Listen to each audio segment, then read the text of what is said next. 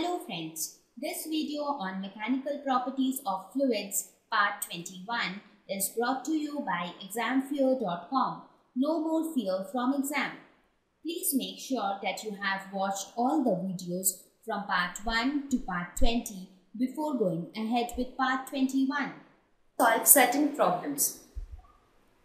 Let us look at problem 1. It asks calculate the velocity of emergence of a liquid from a hole in the side of a white cell 15 centimeter below the liquid surface. So let us first visualize what the question is asking. It asks, it asks for the velocity of emergence of a liquid from a hole in the side of a white cell. So let us draw a cell. Let us suppose this is a cell.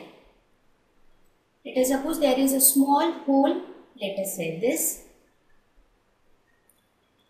which is 15 centimeter below the liquid surface. Now let us suppose this is the liquid surface.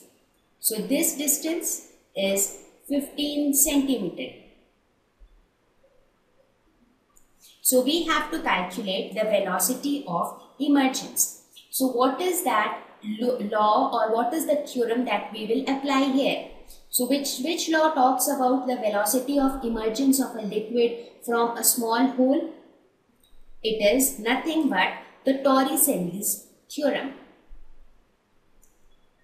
So we will make use of Torricelli's theorem. Torricelli's theorem states that the velocity with which a liquid emerges from a hole is equal to root over 2gh. Why 2gh? Because in this case the cell is open to atmosphere, right? So V is equal to root over 2gh. So we will say root over 2 into g is acceleration due to gravity that is 9.8 meter per second square and h is 15 centimeters. So 15 into 10 to the power minus 2 meters. So this meter per second. So this comes out to be 1.7 meter per second. So this is the velocity with which the liquid will be emerged from the side of this white cell.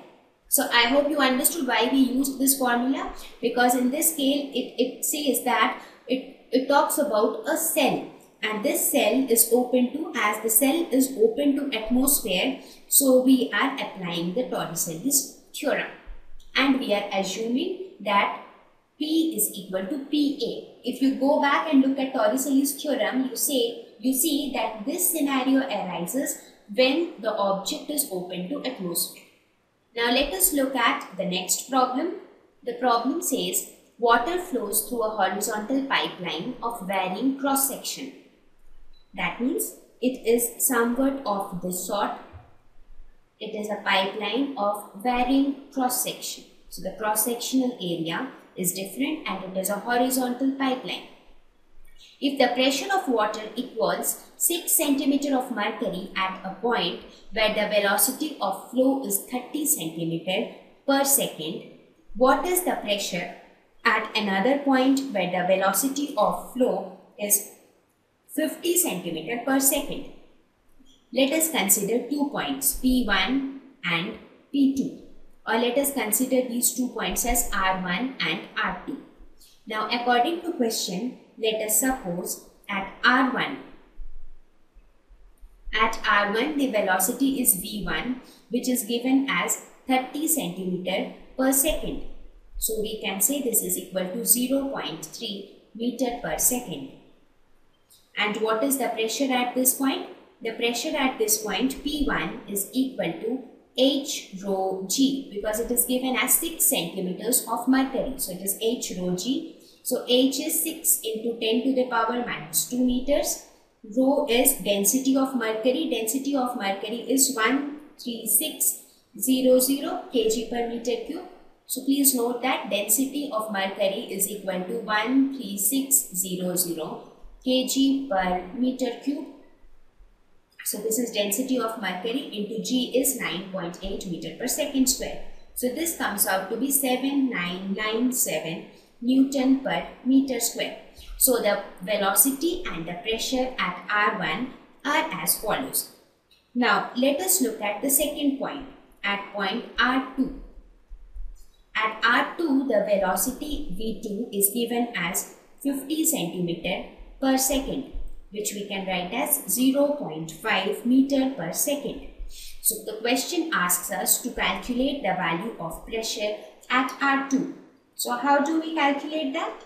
We will apply Bernoulli's equation. So according to Bernoulli's equation, T plus half rho V square that is kinetic energy per unit volume plus rho GH that is potential energy per unit volume is equal to constant. Now the question says that the pipeline is horizontal. That means the height of the pipeline remains the same. So in case of horizontal pipeline, we will not consider this term. This term is not considered. Therefore, we will apply only the other two terms. So we can say that P plus P1 plus half rho V1 square should be equal to P2 plus half rho V2 square. So we know the values of V1 and V2. We know the value of rho. We also know the value of P1. So we can calculate the value of P2 from this equation. So just put the value of P1 which is 7997 plus half into rho. What is rho? In this case, rho is the density of the fluid which flows, right? So density, which is the fluid that is flowing? That is water. So density of water is 1000 kg per meter cube. So rho will be 1000 and what is V1? V1 is 0.3 whole square. This is equal to P2 plus half into rho that is 1000 into V2 that is 0.5 whole square. Now from this equation we find that P2 comes out to be 7917 Newton per meter square. So this is the value of pressure at the point R2. So what did we do?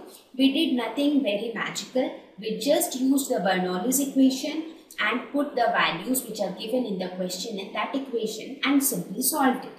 So this is how we calculated the value of pressure. Now if we you want to find out the value of pressure in terms of the height in mercury column, we can do that as well. This P2 should be equal to H2 into rho into G where rho is the density of mercury.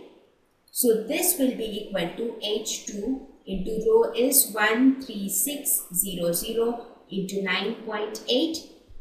So using this we can say that H2 comes out to be 5.9 centimeter. So we can say that the pressure is 5.9 centimeter of mercury column. So I hope it is clear to you now that how do we apply the laws and the formulae, the equations which we studied till which we studied so far, how do we apply them to solve problems? Now let us go ahead and look at the third problem. Thank you. Please visit examfear.com to watch free educational videos, try free online tests, get the best quality study materials, study from the best tutors and mentors, and much more. Thank you once again.